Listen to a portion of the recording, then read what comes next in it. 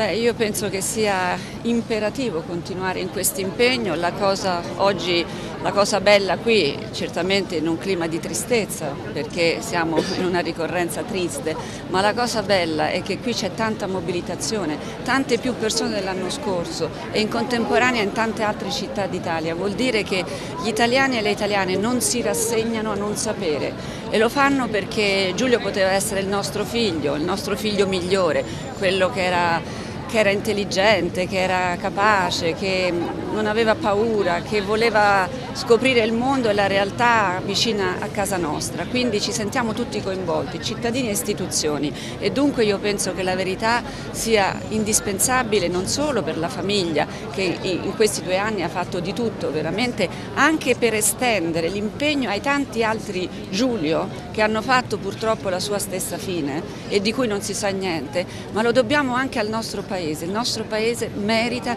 di sapere la verità, è una questione di dignità nazionale, nazionale, per questo anche io sono qui, per essere vicina alla famiglia ma per dire che questa verità deve essere ricercata e ottenuta anche per il nostro Paese.